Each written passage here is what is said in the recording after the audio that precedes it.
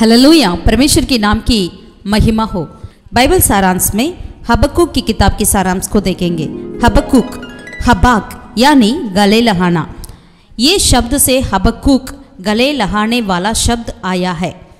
लोगों के परमेश्वर से दूर जाने के समय में भी परमेश्वर के साथ रहने वाला भविष्यवक्ता था हबक्कुक धर्मी जन विश्वास से जीवित रहता है। ये सच्चाई हबक्कुक को भली बांधी ज्ञात हो गई थी। समय स्थान, ईशापुर 607 के समय काल में यहूदा में लिखी गई ये पुस्तक। लेखक, पद, पहला अध्याय, पहला आयत, तीसरा अध्याय, पहला आयत से स्पष्ट होता है कि हबक्कुक लेखक है। वह यरमिया एजेकेल दानियल और जपनिया के समय जीवित रहा। पृष्ठभूमि और संदर्भ। असुर साम्राज्य का पतन और बेबीलोन का सत्ता पर आने के समय काल में हबकुक ने भविष्यवाणी की।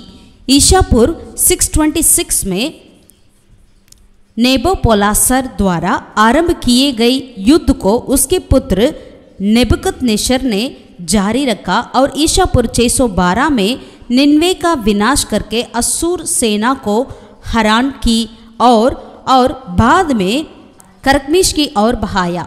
ईशापुर 605 में उसने उन्हें पूर्ण रूप से हराया।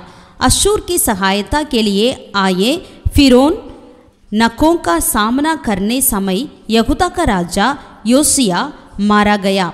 योसिया ने देश में आत्मिक उन्नति स्थापित स्थापित की, परंतु आने वाली पीढ़ी ने इस बात को अनदेखा करके देश में घृणित कार्य किए। दुष्टता के कामों को देखकर भी मौन धारित परमेश्वर के सामने भविष्यवक्ता प्रश्न रखता है।